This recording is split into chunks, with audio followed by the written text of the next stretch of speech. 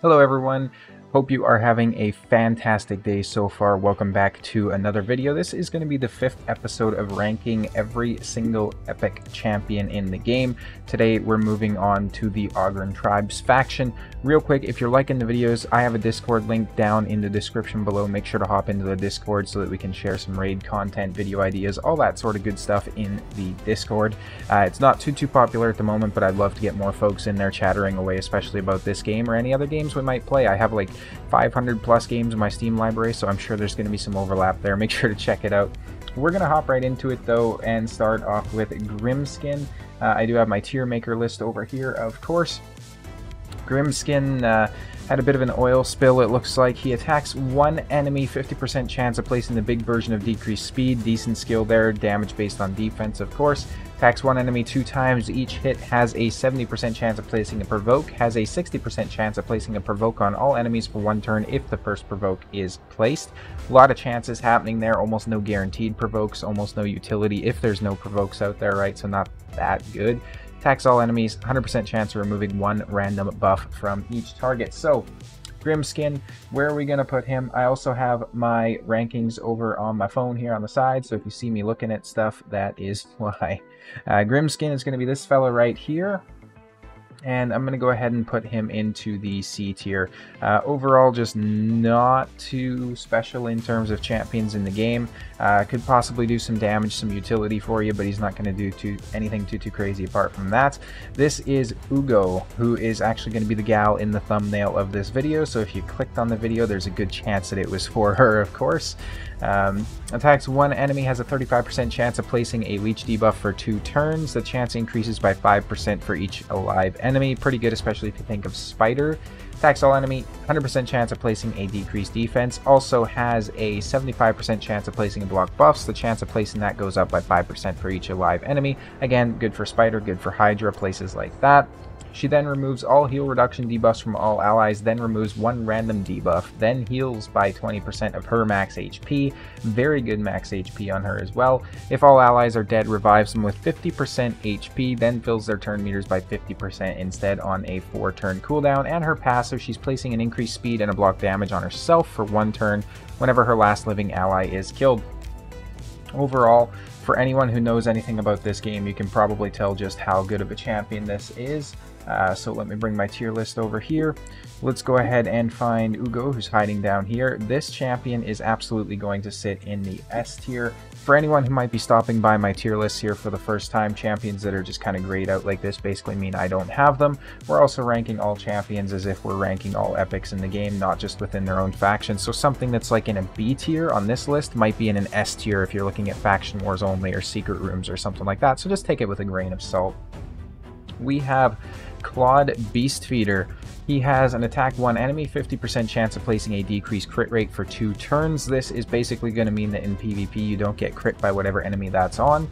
He places a shield on all allies equal to 20% of his max HP for two turns on a three turn cooldown. Very, very good base HP there from him and he places an increased speed and increased accuracy on all allies for two turns on a three turn cooldown. He heals everyone by the uh, he heals the ally with the lowest HP by 10% of their max HP at the start of his turn. So very similar to something like a Doom Priest or a Sill, except they do it on an AoE. He does it on a single target. Still a very very decent champion though. So Klodd is actually one of the few champions that I have built out. Uh, he is going into the A tier. He helped carry me through some of the secret rooms and helped me get to my Ramantu. We have Siege Hulk. Siege Hulk is going to attack one enemy, decreasing the turn meter by 15% if they're under a decreased defense or decreased speed. He places an increased attack on himself, then attacks everybody, has a 100% chance of placing the big version of decreased defense on a three turn cooldown. A lot of damage coming out of this guy as well, placing a crit rate buff and a crit damage buff on himself for two turns, then attacks one enemy. 100% chance of placing the big version of Decrease speed, which is fantastic. Crit rate in Doom Tower battles, not really going to use him for that, I wouldn't think. Overall, uh, Siege Hulk is actually going to make his way up a little higher than some people might expect and he's going to sit inside the B tier. Uh, so Siege Hulk is a very good champion. He does good damage, uh, and he also has good support and everything like that, right? So, well, not really good support, but I meant debuffs. he debuffs, he does good damage, he can do a 2 for 1 there. Lorn the Cutter. He attacks one enemy three times, healing himself by 15% of the damage inflicted. Attacking all enemies, heal reduction, and a leech for two turns. Attacking one enemy, 100% chance of decreasing the turn meter by 100% on a 4-turn cooldown. Overall, just not too too impressed with this champion. Because of that, I am actually going to go ahead and place him into the C tier. You can get some utility out of him in somewhere like uh, Dark Fae, maybe, or somewhere like, uh, you know, Fire Knight, but overall, you're going to have better champions for that particular role. Next up, we have Skull Crusher, who is kind of pretty famous in the game at this point. Attacks one enemy, placing a 50% heal reduction debuff if the target defense is lower than this champion's. He places a 50% ally protection buff on all allies except himself. Then he places a counterattack on everybody except himself. And he places an unkillable on himself for one turn. He also decreases the duration of all debuffs on himself by one turn at the start of each turn. So if he's stunned, or any other sort of CC, he's going to go ahead and essentially just cleanse that. Uh, Skull Crusher, to no one's surprise, I'm sure is going to go ahead and sit right into the S tier. The fact that there's only like three counterattack champions in this game, like AoE counterattack, and the fact that he does it and he's an epic, that is insane, worthy of the S tier right there. We have Shatterbones. He's attacking one enemy, placing the small version of increase attack on all allies for one turn if it's critical. Interesting skill. Attacks all enemies three times, has a 75% chance of decreasing the turn meter by 30%. And he places a 15% decreased speed on all enemies for two turns and fills the turn meter of all allies by 25%, which is a fairly large fill as these things go. Uh, he then also has an accuracy in arena battles. Interesting champion. Uh, Shatterbones is right here and he's going to go ahead and rank into the B tier. Uh, he is a bit of a damage dealer, but he also brings really good support to back it up. We have Grunch Killjoy, the Grinch himself here. He's going to attack one enemy. He reads a small library to get his kit built out, by the way. So he attacks one enemy, has a 65% chance of placing a block bust for one turn. Kind of a terrible A1 in all honesty. Attacks all enemies, 70% uh, chance of placing a bomb that detonates after one turn and removes all debuffs, then places one continuous heal for every debuff removed. Uh, and then he fills the turn meters of all allies by 10% whenever a bomb debuff detonates. So overall, kind of meh in all honesty. Um, you might get some utility out of him, and again, like a place like Faction Wars or something like that. Whereas he Grunch is overall going to go ahead and sit in the C tier, which is quite a quite a quite a, a, a, burn against him, considering that you know support champions are usually just defaulting into the B tier. So he absolutely deserves it, though not that good of a champion. We have Seize. He attacks one enemy, placing an increased attack on himself if the attack is critical. He attacks one enemy three times, filling the turn meter by 10% on each critical hit, and he's also placing a perfect veil on himself for one turn on a three turn cooldown.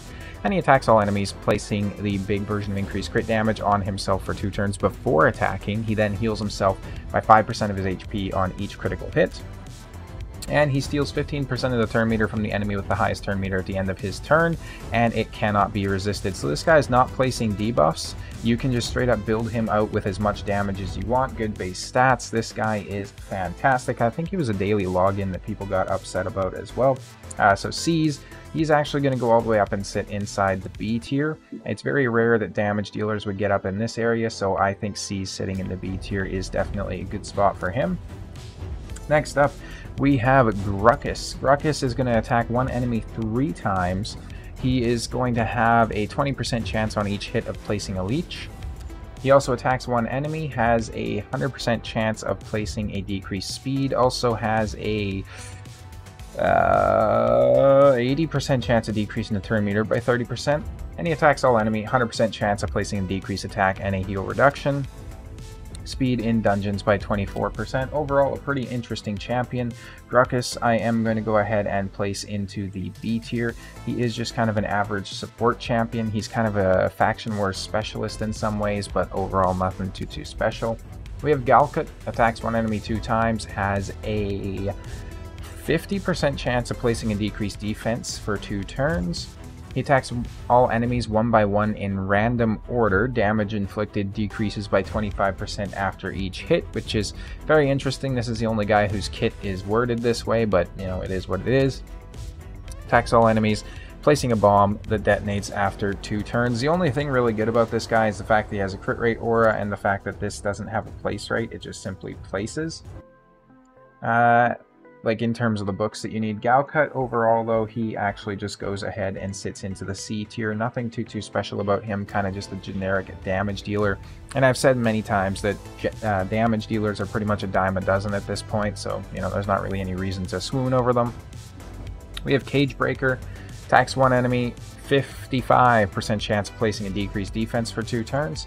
Attacks four times at random. Each hit has a 50% chance of placing a sleep. This is a terrible skill, uh, especially the fact that it's only on a 50% pop rate because if you have two enemies alive and let's say two of your hits go and hit each enemy and it places a sleep, but then RNG procs and your second hits on each enemy don't place a sleep. This guy basically just placed a sleep, but now his second hit on each of those enemies is going to wake them up.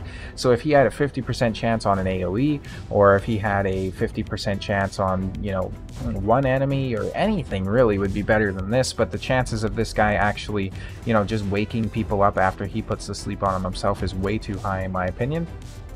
He attacks one enemy, or sorry, attacks all enemies, destroying each target's max HP by 50% of the damage inflicted, grants an extra turn if it kills an enemy, and this is on a 4-turn cooldown. Overall, Cage Breaker is actually going to go ahead and end up in the F tier. Uh, he's going to be one of the only two champions occupying the F tier here. Uh, go ahead let me know down in the comments right now without cheating. Don't skip to the end of the video. Let me know who you think is going to be the second champion in the F tier, uh, and I'm curious to see that the comments might have to say about that. We have Occult Brawler who's been in some of the promotionals and whatnot. Uh, cult Brawler has a attack one enemy, 60% chance of placing a 5% poison. He has a small book here, which in all honesty I am not going to read because this is just a bunch of BS that most people are going to turn off anyways he has a passive where he places a small poison on himself for four turns at the start of each turn, and you might be like, mm, why is that? That's weird.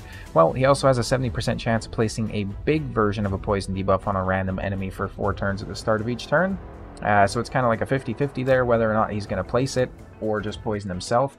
Because of this, though, he is actually a fantastic damage dealer for places like Dragon, uh, places like Clan Boss, of course, anywhere where you can place poisons on single targets. He could actually probably run fairly effectively in Scarab King. I just got a fantastic video idea, by the way. Thank you, Gary, for that. Uh, so he's actually going to go ahead and sit quite fairly, I would say, in the B tier fantastic damage dealer overall, like I said. Very, very happy to have him on my roster. Next up, we have Grush the Mangler. He is actually a free daily login, so he attacks one enemy. He has a 75% chance of placing a leech for two turns before attacking, so healing himself as well. Attacks all enemies, has a 100% chance of placing a decreased attack or a decreased crit damage, so it'd be a bit better if it was both of those, especially considering it's on a 4-turn cooldown. AoE, placing a 15% continuous heal on all allies for two turns. He's then going to place an additional small continuous heal on all allies for one turn if at least one enemy is hit with a crit. Not a bad skill there. Ally defense and faction crypts by 30%. Very good aura. Overall, Grush, I'm very happy with him as well, and he's actually going to sit inside the A tier one of the few champions that gets that weird middle ground between the C and the S tier. Wouldn't quite put him at S tier, he doesn't have the late game viability of some other champions, but overall this guy is still pretty good at carrying your account. We have Wuzgar, who I think is the newest addition to the Ogryn tribes. I didn't even know this guy existed until I was making this video, so that was pretty cool.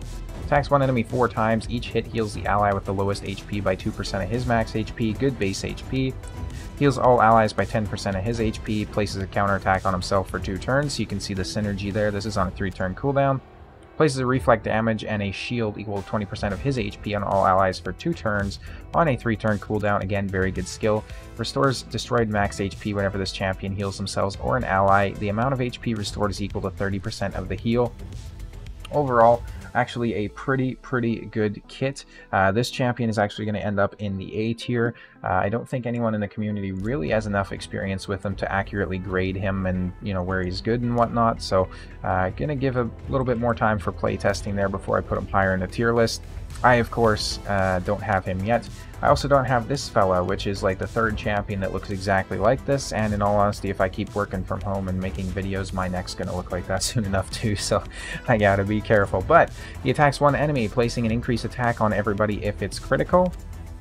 He attacks one enemy, fully depletes the turn meter, fills his turn meter equal to the amount the target loses, and his most notable skill, he receives damage, then places an unkillable buff and a block debuffs buff on all allies for two turns.